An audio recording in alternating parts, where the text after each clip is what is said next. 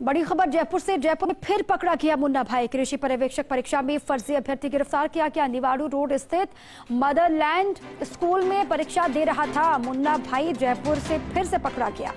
कृषि पर्यवेक्षक परीक्षा हो रही है। फर्जी अभ्यर्थी बनकर के वो एग्ज़ाम दे रहा था। निवाड़ू रोड स्थित मदरलैंड स्कूल में वो एग्ज़ाम दे रहा था। अजब सिंह के स्थान पर ध्रुव पारिक नाम का व्यक्ति परीक्षा दे रहा था, जिसको दबोच लिया गया। हरियाणा का रहने वाला है आरोपी ध्रुव ये कहा जा रहा है। करधनी थाना पुलिस पूरे मामले की पड़ताल कर रही है उस, उससे पूछताछ।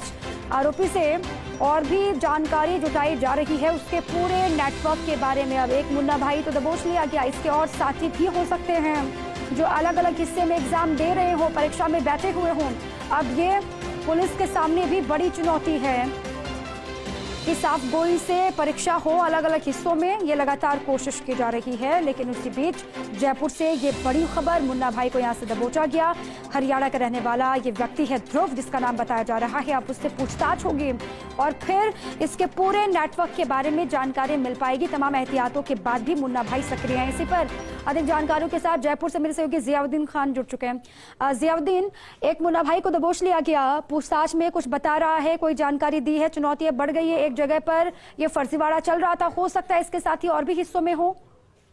देखिएगा कि जिस तरह से पुलिस को एक बड़ी सफलता हाथ लगी कृषि परिवेशक का जो एग्ज़ाम होना था, आज निवारू रेल स्थित जो मदरलैंड स्कूल है, वहाँ पे एग्ज़ाम चल रहा था। क्योंकि वहाँ पे जो ओरिजिनल कैंडिडेट था, उसकी जगह पे ये डमी कैंडिडेट से एग्ज़ाम दे रहा था। शक होने के ऊपर इसको गिरफ़्तार किया गया। खरसनी थाना पुलिस को गिरफ़्तार करके लाई है। क्योंकि अब अभी तक की जो पूछताछ में बात सामने आई है कि एक गिरोह का सदस्य है जिसने पैसे लेकर एग्ज़ाम देने, देने के लिए वहाँ बैठा था लेकिन उससे पहले पुलिस ने इसको गिरफ़्तार कर लिया।